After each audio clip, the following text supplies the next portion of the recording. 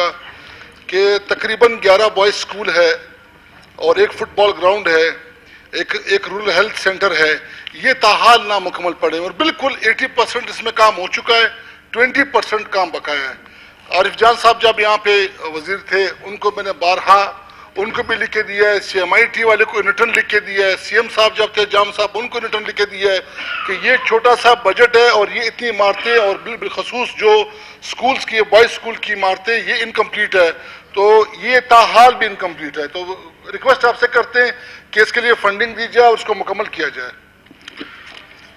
जनाब स्पीकर साहब, गुजारिश ये है कि आपको पता